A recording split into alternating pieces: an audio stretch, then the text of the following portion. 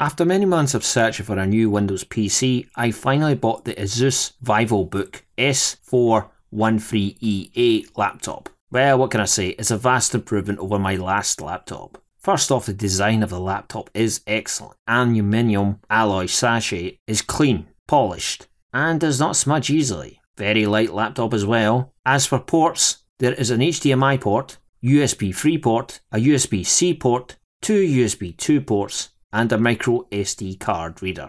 A great quality 14 inch LED backlit screen with a subpar webcam. Performance is great as well i5 11th generation with 16 gigs of RAM and 512 gigabytes SSD. It is not a gaming machine as it comes with integrated graphics. Finally, a great battery as well. Tested on Netflix, YouTube, etc. Would I recommend you to buy the Asus VivoBook? Yes.